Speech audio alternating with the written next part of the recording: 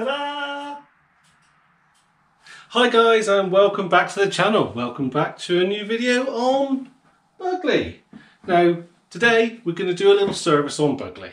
So I'll bring you along with me just in case you're not sure what to do or, or it might help you. You never know. Uh, also, I'd like to say thank you to my daughter for a lovely cut. She's done her first ever so I said to keep some bits on the bulb bit but mm, we'll see. Anyway, let's crack on with this. So here we go, here's the stuff we're going to change in the service. Got some 1540 mineral oil. It doesn't matter who you ask, everybody have a different opinion on mineral oil.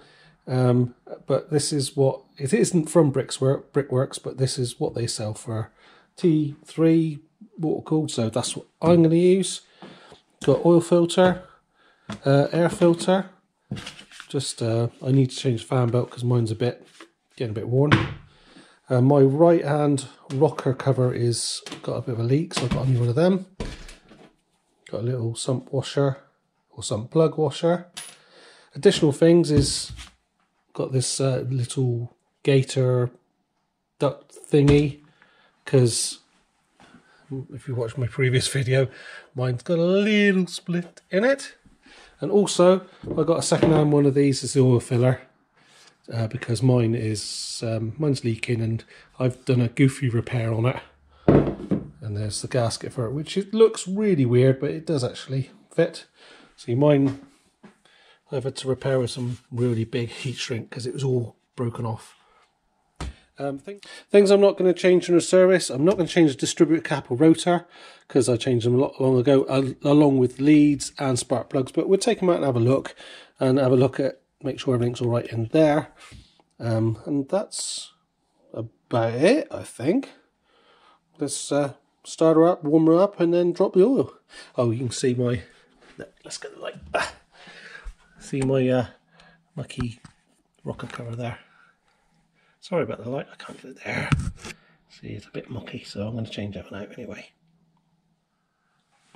Let's warm up.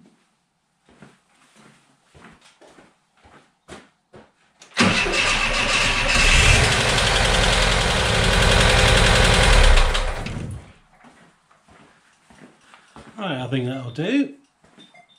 So we're under the bus, and this is where your drain plugs, plug is. And normally it's a hex sort of plug, but on mine it isn't. It's something else. I think it's been stripped out in the past and they put in whatever they could find. So let's get that one out and then drain it into the bucket. While you're under here, be careful because it obviously is hot. The exhaust is there, and so yeah, probably better to have long sleeves on, not like me.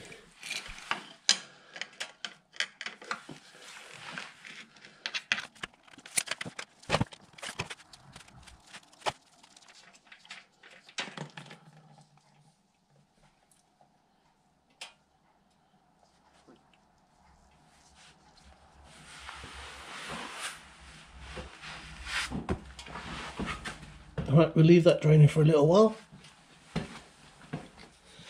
And while that's draining, you take the uh, oil filter off. This is on the left hand side of the engine.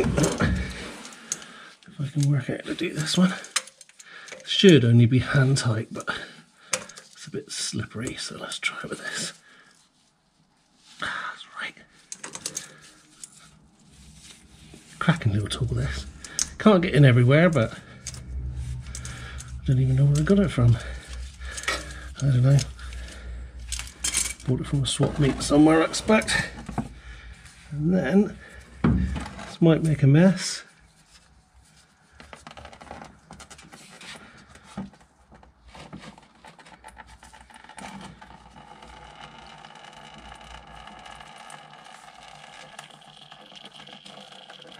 Ooh, it's a Mann filter, very push.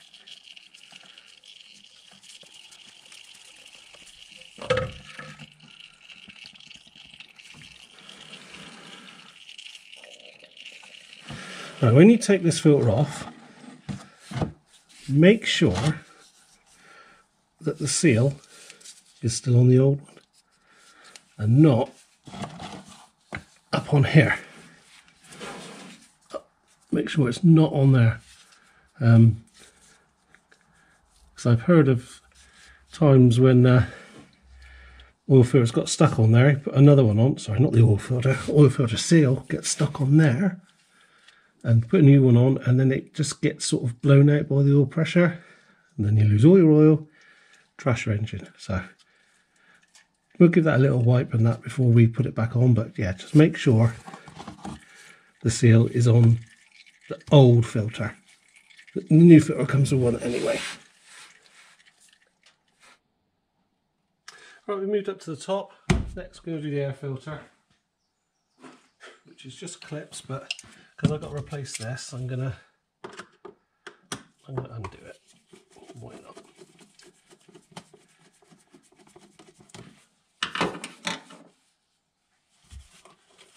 Should be easy?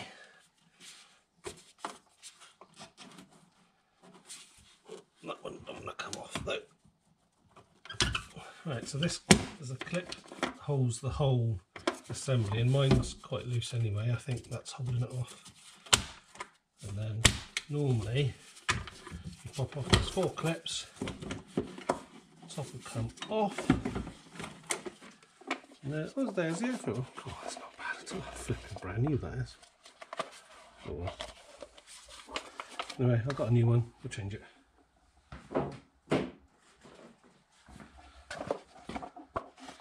Just plonk that one in there.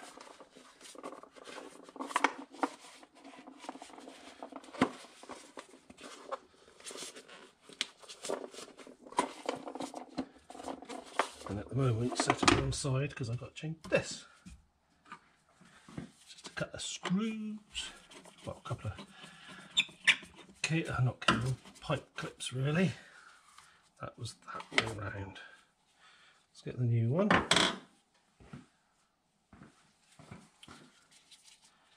So it looks like it goes that way.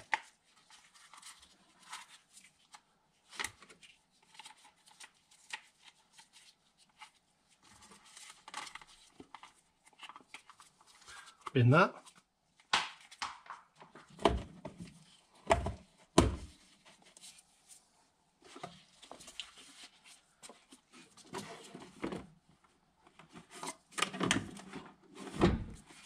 So put that in first.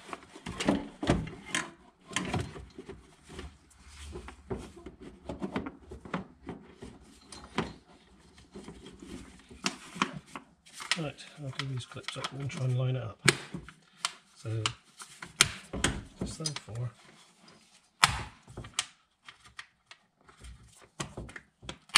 Let's try and squidge this one in. Let's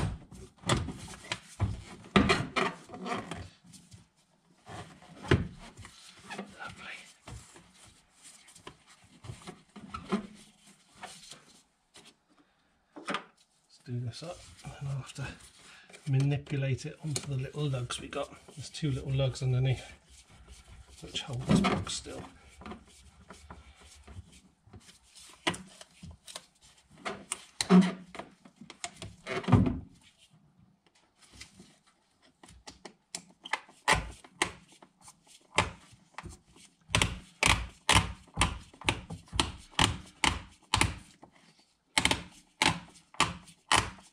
I think this one needs a bit of oil.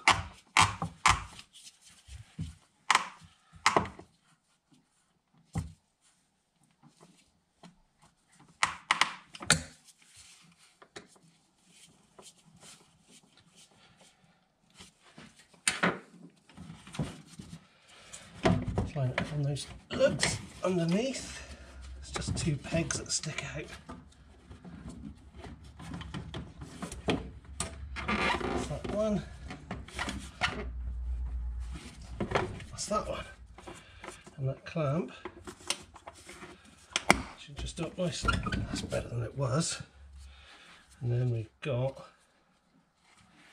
these two little plugs. Oh, that's a bit knackered that. I'll get a bit of hose for that, I think. Where's the other one? There. Oh, lost it for a minute. Air filter and little rubbery thing. Done. Right, we'll have a look at our spark plugs. Um, the leads are, well, the spark plugs are here. You can just follow the leads and find them. A bit awkward on that side. Actually, I should have done that when the filter's out, shouldn't I? But hey, let's do an easy one to show you. And then you just have to repeat it for the rest of them.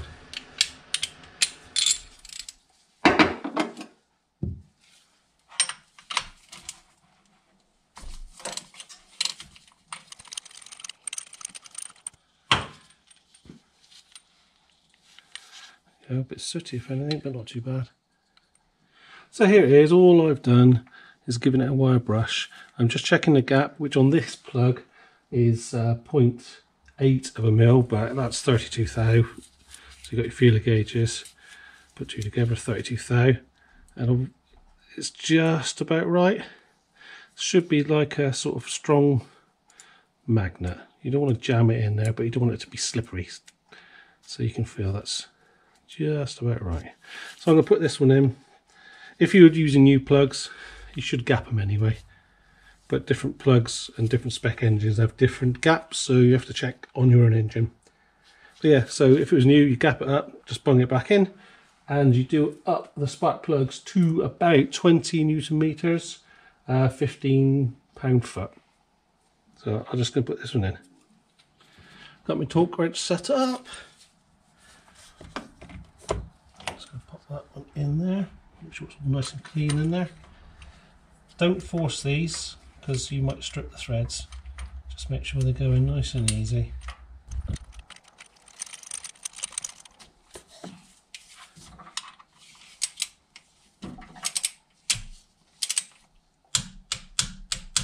Lovely. Then lead back on. Move on to the next. Next up, looking at the, uh, the distributor cap, and this has just got a clip this side, on the other side. I'm going to try and do it one-handed way. Just pop that one off, pop that one off. It should just lift off. try not to drag it on anything. Have a look in there.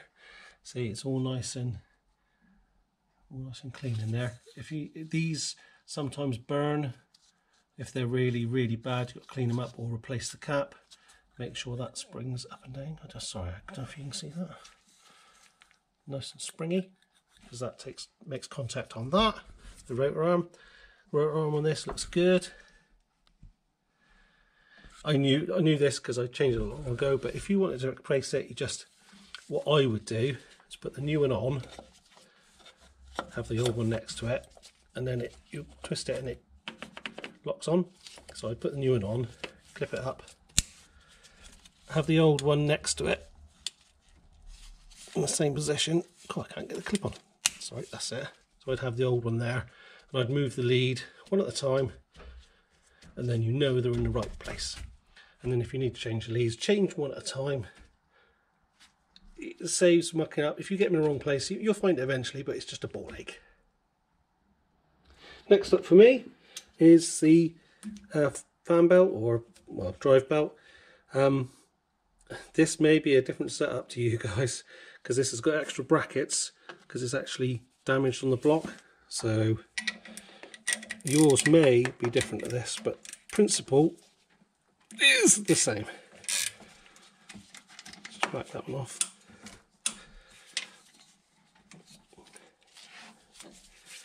hopefully I'll be able to just flick it off of there.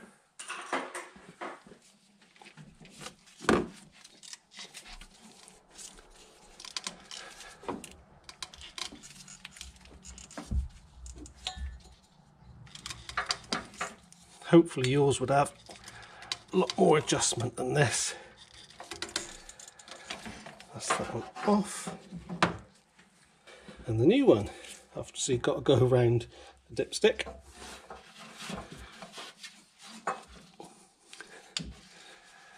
And then spin her on.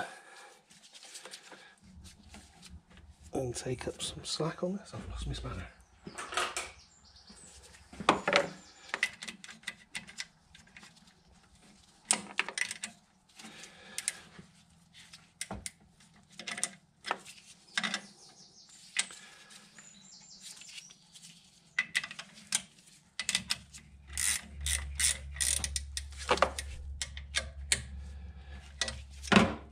Right, that is a little loose. I need to put a little bit of weight on that one. After much fiddling, basically I just put a clamp on like that, undone the bolt, whizzed up the clamp and then done it up again. And we're about there. This one, again, is a bit janky. Next up, the rocker cover. Right, uh, this might make a mess. I left it dripping for quite a while, but not that much technical to this. It's just a big clip. Pop it off, if you can. Take it out of the way. Remember how it goes? And we'll see what horrors are behind here. Not too Bad. Oh, nice and clean. Alright, let's get a new gasket on there. Right, just pop the clip back on. I've given the uh, cover a clean. Now something you really want to try is get make sure this face in here and that face is as dry as possible because when you put the cork gasket on here if it's because it's only held by a clip it can easily slip out. So if it's got oil across the faces, when you do it up, sometimes they push in and they leak like hell. So just make sure it's all nice and dry on those faces. Ooh, just seen a little bit on there. Put the old new uh, gasket in. Slip it on. Give it a rattle you know it's sort of in the right sort of place put it in the middle and then it goes back up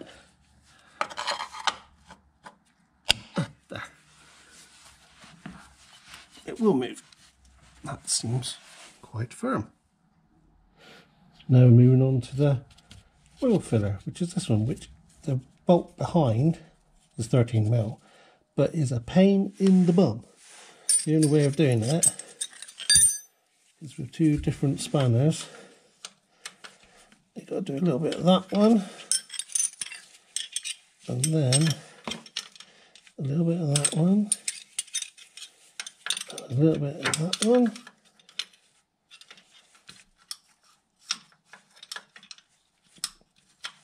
And a little bit of that one. You get the idea. Finally, nuts off. It was a bolt. There we go. Should be a washer in there. Washer. And then we'll do this side.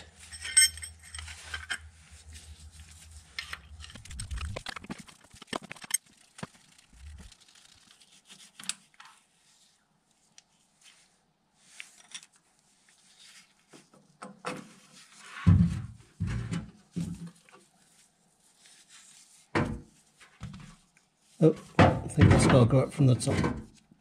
Anyway, I'll take that out and I'll give that a good clean up.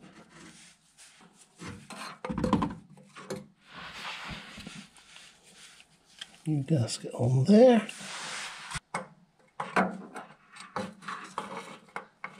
Pipe goes on there. And then the bolt, actually let's move that aside. Is that better, I think? Bolt through the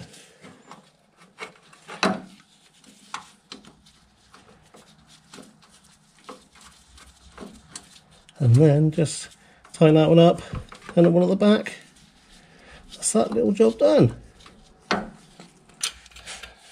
Well, that inner bolt took longer than it should have, but that was awkward. Let's just snug this one up. Don't be too tight because it's a cork joint. Think that'll do us. Lovely. Just pour a little bit of oil in there. Can't fill it up because it's at an angle on this one. It's a splodge. And then just lubricate the seal. Just a splodge. Lovely. So you see I've had a little clean up in there. It's still a bit mucky up inside. But I don't want to disturb anything. Got our uh, oil filter with a bit of oil in it. And a damp seal for a missus. Let's chuck it on. Might have a dribble come out. And then this, hand tight. So hand tight with clean hands, not oily slippery hands.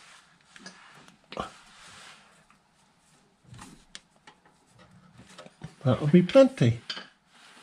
Right, so unfortunately, because mine's a different plug, the um, the new crush washer or sealing washer won't fit. But this has got a rubber one and it's in good nick, so I'm going to reuse this.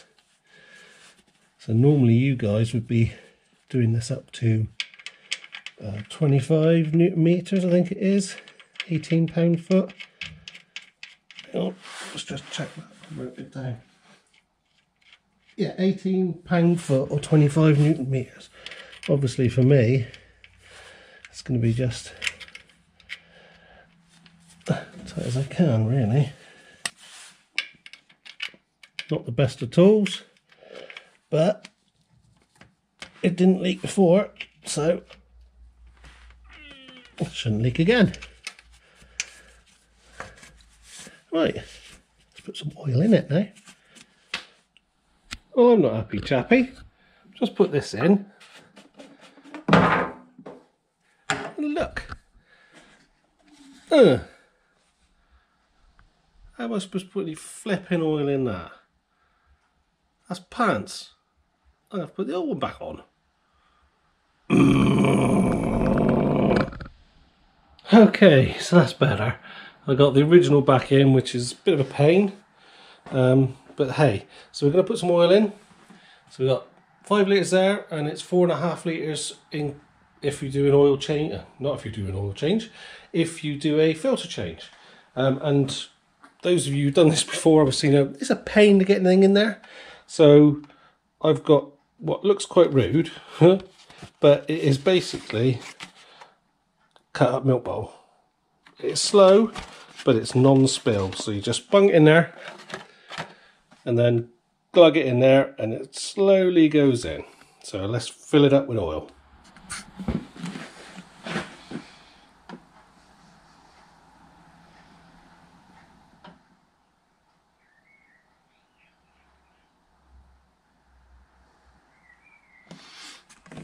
There we go. About half a litre left.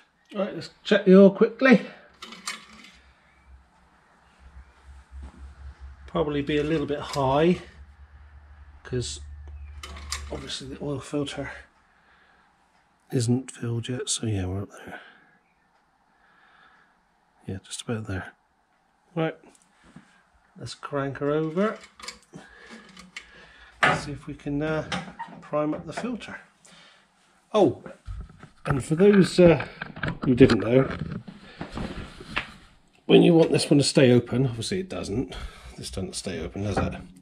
If you just take the cap off of there, bung it in there, stays in a tray.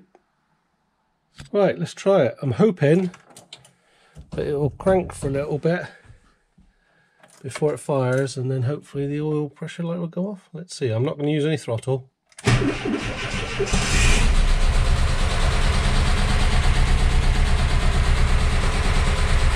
There she goes.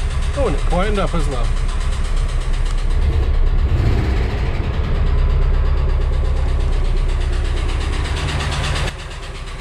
It is a little bit ticky. There we go. Have a quick look underneath, make sure there's no oil leaks.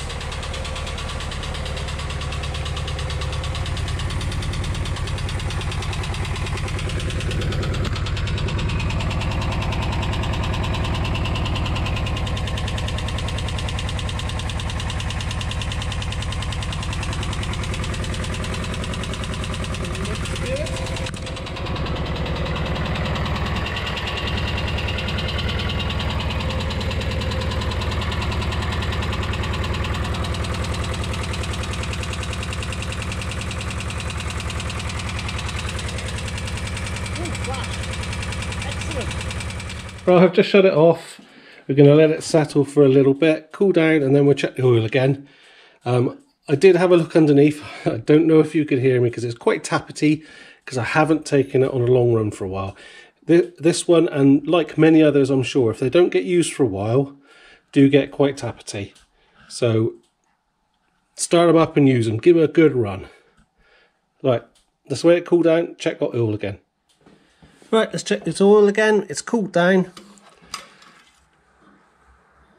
Give it a wipe.